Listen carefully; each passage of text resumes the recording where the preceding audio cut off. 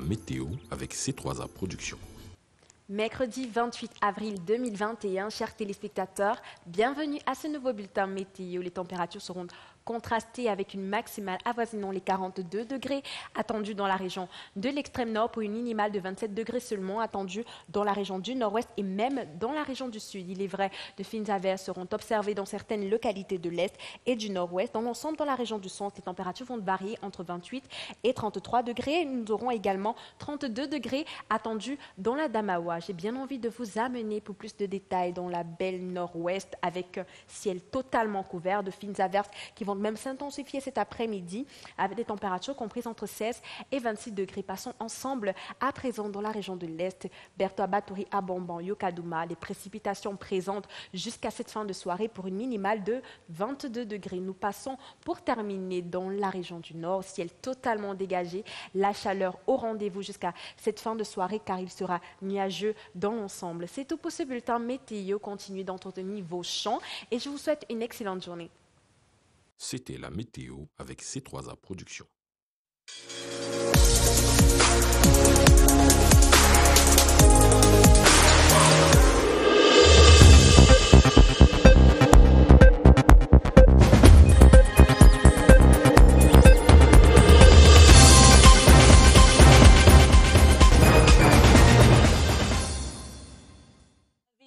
Retrouver sur la CRTV pour cette édition de midi sur la CRTV. Bonjour Emmanuela. Good morning, Nicole Dodo. Vous avez les titres du journal. Cameroon is reflecting on how to anticipate, prepare and respond to crisis by investing now in resilient occupational safety and health systems. The World Day for Safety and Health at Work is observed within the context of the coronavirus pandemic. Focus, therefore, is on how this affects the world of work, employers and employees, and how to keep them safe. On our feature page, we sing along with the gospel singers of the Église Presbyterian Camerounaise Messa 2 in Yaoundé. The phenomenal choral group, classified among the best in Cameroon, is 40 years today. Out of the eight choristers that started the choir, only two are alive today to recount the successes of the group. Stay with us at the close of this newscast for more. And in sports, Cameroonian born world heavyweight champion in the mixed martial arts, Francis Ngannou, is officially receiving his congratulatory message or letter from the head of state. At the moment, the special ceremony at the Ministry of Sports and Physical Education is presided at by uh, the Minister of Sports, uh, Narcis Mwele Kombi. The heavyweight champion is being recognized for flying the Cameroonian flag high on the world stage. We shall be going over to the sports complex to meet Baldwin Sama and Evariste Yenga live in, the, in this newscast and those are headlines.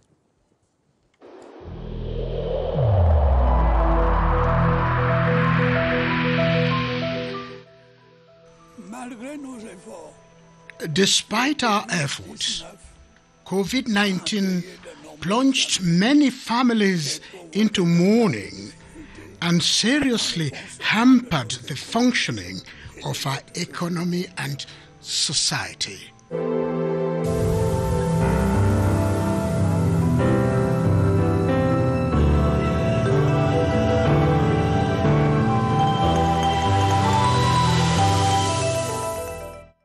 Merci de rester sur la CRTV. Le sport en ouverture de cette édition avec euh, l'audience euh, accordée par le ministre des Sports et de l'Éducation euh, physique à Francis Ngannou, les honneurs de la nation champion du monde MMA qui vient de recevoir la lettre de félicitations du chef de l'État. La cérémonie s'est tenue au ministère des Sports et de l'Éducation physique où nous retrouvons notre reporter Évariste Eyenga. Vous avez l'antenne.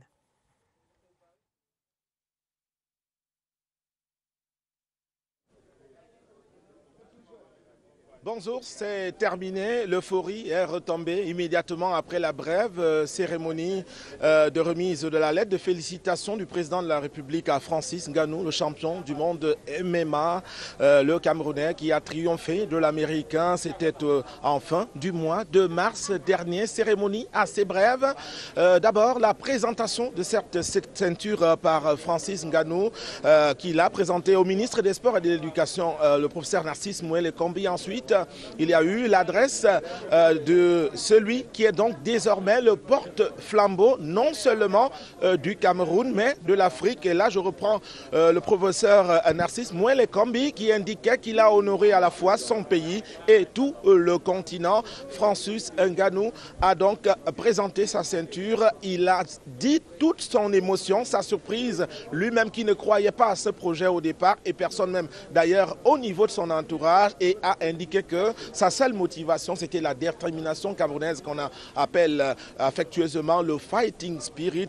Le ministre des Sports lui a transmis donc les mots très tendres du président de la République. Ces félicitations qui font de lui aujourd'hui un héros. C'est un héros justement qu'il a été accueilli ici à son arrivée autour de 11h30 minutes au ministère des Sports et de l'Éducation physique.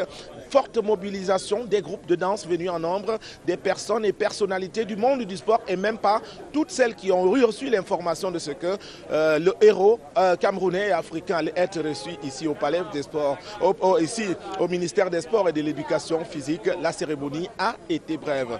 Euh, ministère des Sports, Jean-Baptiste Bachon, Maristide Afane, Évariste Yiga pour le 12 h Merci Évariste Yenga euh, pour ces précisions sur cette actualité.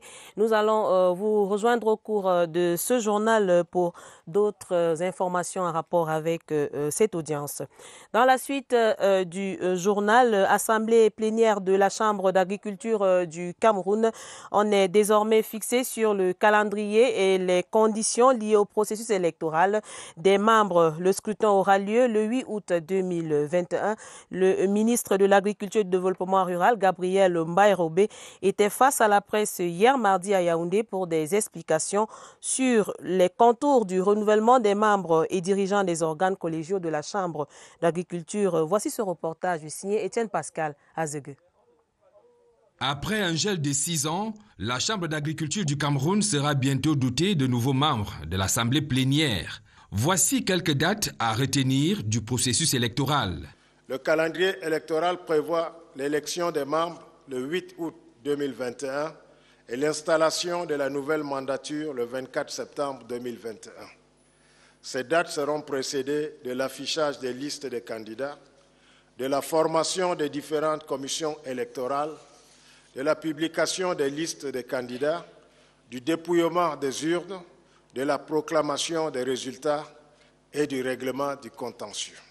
Le ministre de l'Agriculture a également défini les conditions d'éligibilité en conformité au décret 2021 du Premier ministre. L'électorat est constitué de toute personne physique âgée de 18 ans révolue ayant une activité agricole, pastorale, halieutique, aquacole ou forestière, être propriétaire ou exploitant d'une exploitation agricole d'une superficie d'au moins un hectare en ce qui concerne la culture maraîchère, 2 hectares en ce qui concerne les cultures annuelles ou vivrières, 2 hectares en ce qui concerne les cultures pérennes. Le gouvernement rassure aussi sur la sécurité et le respect des mesures barrières contre le Covid-19 qui vont encadrer tout le processus électoral jusqu'à la session de plein droit des 100 membres élus le 24 septembre 2021. Back now onto one of our lead stories. Cameroonian born world heavyweight champion in mixed martial arts, Francis Ngannou has officially received a letter of congratulation from the head of state uh, for lifting high the nation on the world stage. Report, uh, the Minister of Sports and Physical Education, Narcisse Mwele Kombi, has just handed over the letter in a special ceremony in his honor in the Ministry of Sports and Physical Education from where Bodwin Sama now joins us live. Hello, Bodwin. What is the latest out there as at now?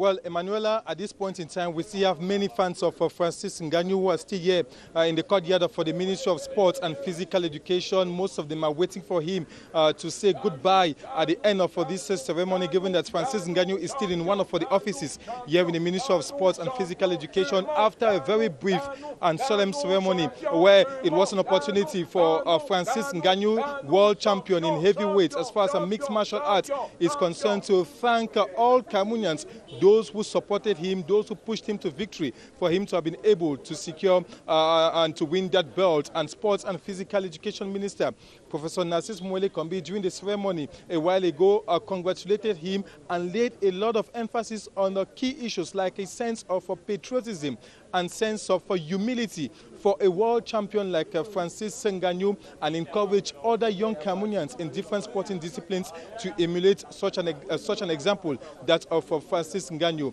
He used the opportunity, I'm talking about the Minister of Sports and Physical Education, to hand over the letter of congratulations from the President of the Republic to uh, Francis Ngannou and equally handed over a symbolic envelope of encouragement uh, to Francis Ngannou, telling signs that the government of Cameroon is going to encourage individual and collective sport, just like the example we have for, for Francis Ngannou. We are presently waiting for him to leave one of the offices here uh, and head towards his hotel here in downtown Yaoundé with many, many uh, supporters and fans of Francis Ngannou who are still here in the courtyard of the Ministry of Sport and Physical Education. Back to you, Emmanuel Avenue. Thank you very much, Baldwin Sama. We're going to the littoral region now where the newly constructed petroleum tanker jetty of the Douala Bonneberry seaport is set for inauguration today. The new structure comes to replace the defected one destroyed by the shock of vessels in 2001. Three government ministers, including that of Mines, Industries and Technological Development, Gabriel Dodondoke, are set to chair the ceremony. Alfonso Bongwa now joins us live from Douala. Hello, Alphonse. Good morning and welcome to the Douala Bonneberry Seaport. Uh, the disposition is already being put in place to receive three government ministers, the minister in charge of water and energy, Gaston Elunwe Somba, the minister in charge of uh, transport, uh, Jean-Ernest Masinangale Bibehe, and uh, the minister of public contracts, Ibrahim Talba Mala they will be here to officially uh, inaugurate the petroleum tanker jetty newly constructed here at the Douala Bonneberry Seaport. It is one of the great infrastructures that uh, will contribute significantly in the uh, this, in the offloading and unloading of petroleum products uh, inland or offland Cameroon. As a matter of fact, uh, what used to exist here uh, was destroyed by vessels in the year 2001 and it has taken 20 long years for government to pump in the sum of over 9 billion CFA francs for the construction of this new petroleum tanker jetty. And so um, the officials will be here. Uh, the new petroleum tanker jetty has uh, qualities that will increase the security of workers, especially those who were charged with uh, offloading petroleum products from the vessels that come into the country. Uh, the uh, Director General of the National uh, Petroleum Company, uh, Madame Montpeyambio, also says that the cost of offloading and unlo- unloading the petroleum on the vessels and off the vessel into the tankers on land has significantly dropped by about 30%. And so uh, it's a very good news for Cameroon in terms of petroleum uh, uh, importation in the country. Alphonse Abongo Achu for CRTV News at the Douala Bonneberry Seaport. Thank you, gentlemen. It's been a little over two weeks since Muslims across the globe embarked on the month-long period of uh, Ramadan characterized by fasting, prayer and abstinence. The Midday News today focuses on how Muslim women have been handling their spiritual as well as feeding the physical body. They are the first to rise to cook for the family and the last to sleep after ensuring that the family has what to eat. Joyce Tata spent the morning with one of them and now reports. A season of spiritual sensitivity for the Muslim woman, Ramadan. Each day well planned by wives and mothers, Madame Ibrahim makes time to ensure her home is well catered for even as a civil servant. At times, before I go out as a civil servant, I do the cooking in the morning. Then when I get back home, I can do something like pap, tea, salads. Yes. So it's very easy for me. A responsibility she carries out wholeheartedly. It's something that it is habitual. We started doing it since we were kids and it's an adaptation in life it's a process and in islam everybody as she is 12 years she is obliged to fast yes until during the menstrual period that a lady is not supposed to fast For some, they ensure they make out time to pray for their families and nation even while carrying out their daily chores. We usually get up at 3:30, do some a little bit of prayers before eating time. After praying as Zuhr prayer, that's as Zuhr prayer, the afternoon prayer. So I have to uh, start preparing for the cooking before the kids come back from school. After everything is done, some little time is carved out to visit each other and share stories to lighten their moods during this period of fasting and prayers to Allah. En religion, 16 jours se sont égrenés depuis le début du jeûne du mois de Ramadan, des moments de prière, d'abstinence et de partage pour tous les fidèles musulmans. C'est un mois au cours duquel la femme musulmane doit porter les intentions de sa famille au Tout-Puissant et assurer les tâches ménagères en pratiquant le jeûne. Laurence Okali a passé cette matinée à observer ces femmes. Voici son reportage. Fadimatou porte sur ses épaules le poids de sa famille. Son amour de mère et d'épouse, c'est ce qui la maintient debout, surtout en cette période de ramadan. Chacune de ses missions égrenées au quotidien est une bénédiction pour Allah. Il faut te lever le matin, apporter les enfants, euh, euh, faire le ménage. Il faut déjà commencer à préparer tôt pour que le repas soit prêt à l'heure de la rupture du ramadan. Il faut goûter pour savoir comment est la nourriture. On goûte légèrement surtout. Tu ne dois pas goûter et avaler. Tu dois goûter juste au bout de la langue. Ina a fait goûter les saveurs du jeûne pour la première fois à ses jumeaux de 10 ans cette année. Un pas après l'autre, elle les a initiés à la prière et à la notion de sacrifice. Pour cela, il lui a fallu user de beaucoup de charme. Tu dois toujours flatter l'enfant parce qu'à 18h, il doit manger ce qu'il veut.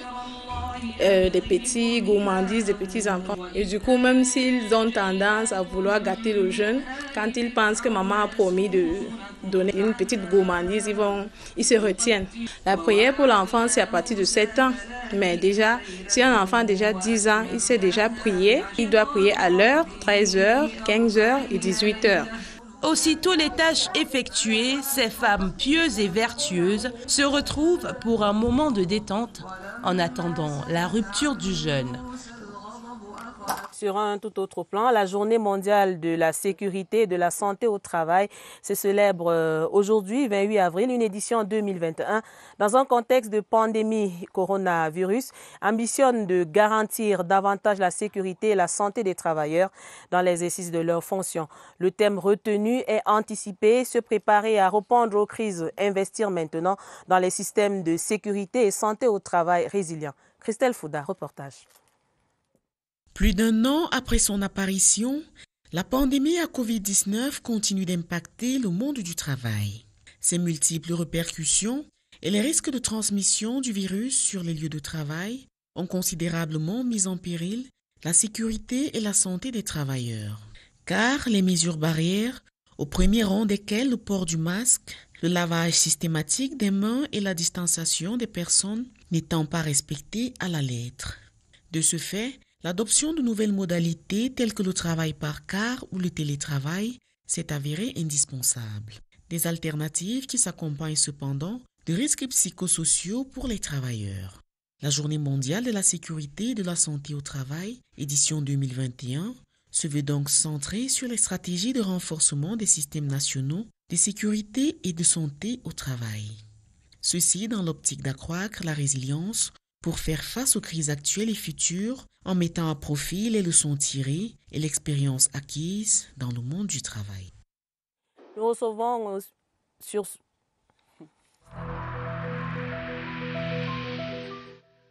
Je vous exhorte de nouveau à porter vos masques, à vous laver régulièrement les mains et à faire appel à un médecin ou à tout autre personnel de santé au cas où des symptômes apparaissent. C'est le seul moyen de préserver les vies et de freiner la propagation du virus.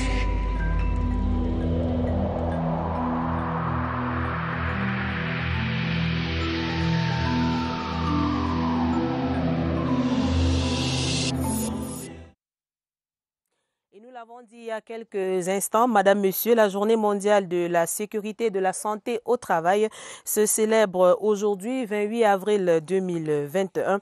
Je reçois donc euh, à ce sujet Dr euh, Eyoum Douala, directeur de la santé et de la sécurité au travail au ministère du Travail et de la Sécurité sociale, pour d'autres euh, explications sur le sens de, de cette journée. Bonjour, docteur.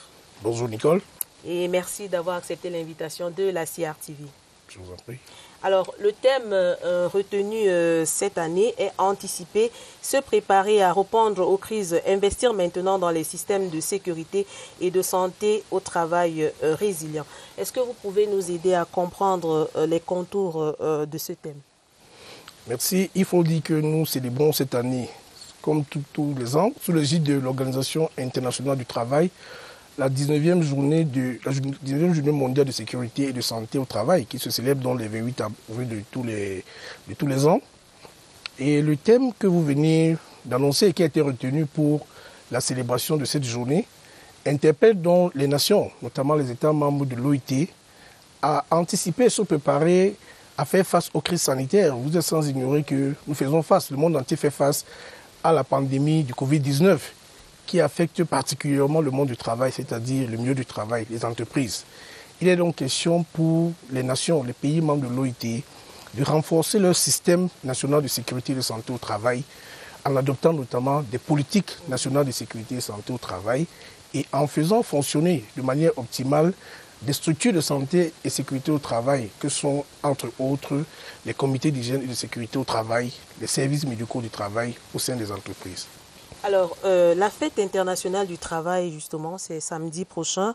Elle sera en mode Covid-19 comme l'année dernière, docteur. C'est l'occasion pour nous de nous intéresser sur ces systèmes-là de sécurité et santé au travail au sein de quelques entreprises.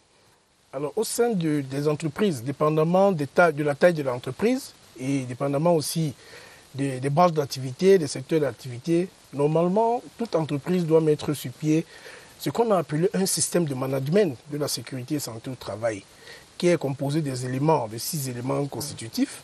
Et ces éléments-là permettent en sorte que les travailleurs se sentent protégés, se sentent en sécurité et que les mesures générales d'hygiène soient respectées. Tenez par exemple, il y a des entreprises qui sont assujetties, c'est-à-dire qui ont l'obligation de créer en leur sein le comité d'hygiène et sécurité, comme c'est le cas à la CRTV. Je rappelle que la CRTV sera à l'honneur demain parce que le ministère du Travail et de la Sécurité sociale a prévu une réunion avec le comité d'hygiène et de sécurité de la CRTV pour que ce soit à peu près un exemple, un exemple type. Alors, ces comités doivent fonctionner de façon optimale à travers la tenue des réunions, à travers euh, les informations, à travers la formation d'abord qu'ils reçoivent, que les membres reçoivent, pour pouvoir diffuser auprès de leurs camarades travailleurs des informations sur leur santé et sur leur sécurité. Ils sont donc au fait, ils sont suivis et contrôlés par les inspecteurs du travail qui sont des agents assermentés du ministère du Travail et de la Sécurité sociale en la matière. Mhm. Alors, docteur, euh, l'entreprise a l'obligation d'encadrer euh, euh, la sécurité au travail des travailleurs, mais les travailleurs également doivent faire des efforts pour, pour accompagner l'entreprise. Nous, nous traversons la crise sanitaire en rapport avec le Covid-19. Est-ce que vous avez un message particulier à l'endroit de, de tous les travailleurs? La réglementation nationale, la législation internationale et la réglementation nationale obligent les employeurs déjà à prendre en charge la santé des travailleurs, assurer leur sécurité. Mais il revient aussi aux travailleurs eux-mêmes. Lorsque l'employeur a fait son devoir de respecter rigoureusement les mesures d'hygiène et de sécurité, à travers par exemple le port systématique des équipements de protection individuelle, lorsque les moyens de protection collective sont déjà mis mise en place. Et lorsque l'employeur a fait son devoir, ça veut dire que tout travailleur qui ne respecte pas cette réglementation et qui, est, qui il est astreint, il est contraint de respecter les prescriptions à la fois du règlement intérieur concernant la SST et respecter l'ensemble des mesures.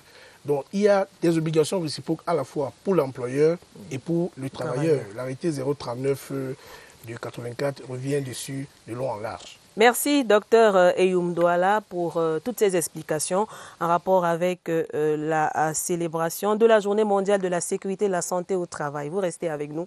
Emmanuela, vous avez la suite du journal.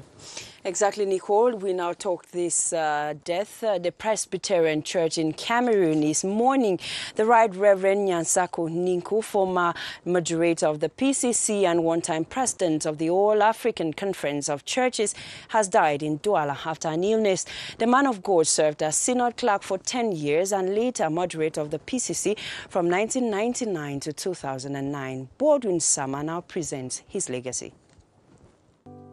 When I have something major to do, when I finish working on it, I try to test myself by using this so I can see my relationship with the pulpit and the text. Never, never would he see the relationship between the pulpit and his text again. Never would the very Reverend Dr. Nyansako Ninko mount the pulpit to preach his soul touching sermons that for several years have touched the lives of many Christians. The very Reverend Dr. Nyan Sako who served as moderator of the Presbyterian Church in Cameroon between 1999 and 2009, was considered one of the finest preachers in Africa whose mastery of the gospel inspired many. Soft spoken, gentle, and discreet, the former PCC moderator would be remembered as an outspoken man of God who stood for the truth. He was a bookworm and a prolific writer with many publications to his credit. Because some have already printed, yes, and some need to be redone, and that takes a lot of time, as you know. I have to reorganize my desk there. During his stewardship as moderator of the Presbyterian Church in Cameroon, he was raised to the prestigious position of President of the All African Conference of Churches in 2003, a position that permitted him to travel across continents. They called me, I left the house on 2nd of January, flying to Kenya. When I reached there, he was calling me, I answered the call on the plane. I had to call him out. He told me that the boys now are already disrespectful. How do I call him out of holiday with his wife in the The very Reverend Dr. Nyan Sakoninku retired from the PCC 12 years ago after having served in different capacities as a pastor, as synod clerk and moderator, mentoring many men of God as he succumbed to the hands of death after battling with ill health for a while. Reactions have been pouring in since the death of uh, the late uh, Reverend Nyansako Ninko, former PC moderator, was announced in Boya, where he worked for the most part of his uh, life. Our reporter Henry McCauley sampled the reactions of many in this report. In the southwest region, many remember the right Reverend Nyansako Ninko for one thing, his humility and his readiness to always serve his community and his people our departed father of the church, Reverend Dr. Nyasakuniku, Emeritus Moderator of the BCC, was a wonderful father to everyone. He was a good pastor and a good preacher. We will remain to remember his legacies and how he fought to build a strong PCC and to make this church well known in the land of Cameroon and beyond. This character of the late Reverend Yansako Ninko was very manifest at the Synod office where he spent a good portion of his life serving the church. It's a devastating blow to some of us who happen to have been employed by him here in the church. It's like the encyclopedia of the church is burnt. He was such a person that I, did, I forgot that he was even a pastor, he was a father to us. He made sure we all were satisfied. He made sure he did all what he could so that work and everything should go smoothly in the synod office. Even though he was the moderator of the church, he never forgot his friends. His death is a great loss to the Presbyterian Church in Cameroon and to Christians as a whole in, in Cameroon. He was a very simple person. As the late moderator emeritus, Nyansako Ninku begins his journey to the world beyond his friends and the church are of the opinion that his humility should not only serve as a lesson to the present generation, but for generations to come. Dans la suite du carnet noir du 12 heures, un baron du RDPC s'en est allé. Un patriarche Sawa a tiré sa révérence. Joseph Dipita Pokosi Ndoumbe, qui assurait encore pleinement ses fonctions de PCA des aéroports du Cameroun, c'était en premières heures ce euh, mercredi à Douala, des suites de maladies. Ambiance au domicile du défunt après l'annonce du décès, tout de suite avec Olivier Kingue. Moli. Ici, le bureau du patriarche Sawa, Joseph Dipita Pokosi Ndoumbe, il traduit l'activité récente d'un homme de près de 89 ans qui achevait de sélectionner ses photos dans la perspective de l'écriture de ses mémoires en cours. L'ouvrage a été stoppé net dans la nuit du 27 au 28 avril, violemment, alors que rien la veille ne l'indiquait de manière décisive. Hier après-midi, ça allait. Vers 2 heures du matin, il a demandé à se lever. Et à un moment donné, il a perdu connaissance. Et puis, euh, après, il s'est pas réveillé. On a essayé. J'étais avec l'infirmier qui, euh, qui m'assistait. Et j'avoue qu'il était serein. Il s'est pas réveillé, mais il était serein. Il est parti euh, sans s'agiter, sans rien dire. C'est une ambiance de tristesse teintée de retenue au domicile des Pokosindombe à Bangé, dans la 5e, canton à le guide s'en est allé. Le peuple vient au recueillement dans la dignité. Celle qu'incarnait ce Sawa pur souche, pharmacien de formation, qui a inspiré beaucoup de générations. Homme politique respecté dans les rangs du RDPC et ancien délégué du gouvernement auprès de la communauté urbaine de Douala, mais aussi époux attentionné. Hier, quand on discutait, hier soir, il me disait Oh, j'ai la chance de t'avoir parce que si je ne t'avais pas, je pense que je serais déjà mort. Je lui ai dit Mais fais attention parce que je peux te lâcher et moi partir avant. C'était ces derniers mots que je retiens de lui. Hélas, il est parti avant, laissant son épouse après 42 ans de vie commune. Clear your throats and get set as we take you to sing along with the gospel singers of Eglise Presbyterian Camerounais Mesa de Yaoundé. The phenomenal choral group created by eight choristers in 1980 has stood out over the years with their amazing compositions, songs that touch the soul. 40 years today, only two of the eight choristers are left to recount the successes of the group. Joyce Tata takes us on a singing expedition. Of Mesa 2 Clock 40, reaching this far has been the fruit of serious work. C'est quelle note là En Do, on va arriver. Essayons, parce que c'est plus les voix de 1982. Hein. Producing melody which goes deep down.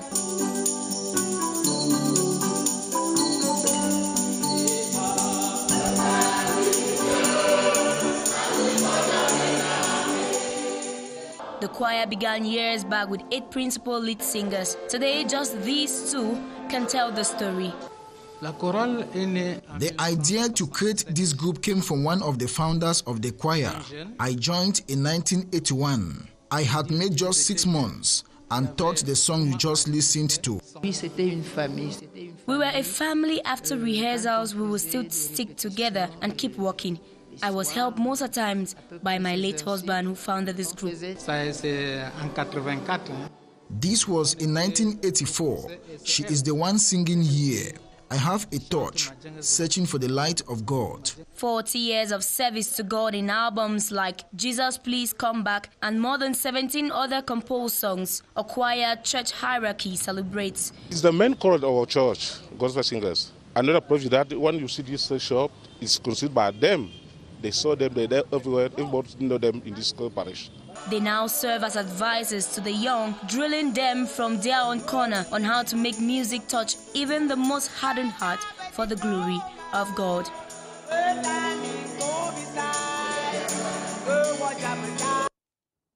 Et voilà, déballer le package de ce midi sur la CRTV. Madame, Monsieur, de votre attention, oh, merci. À demain, Emmanuela. See you tomorrow, Nicole. Don't forget to wear your mask when leaving home. See you tomorrow.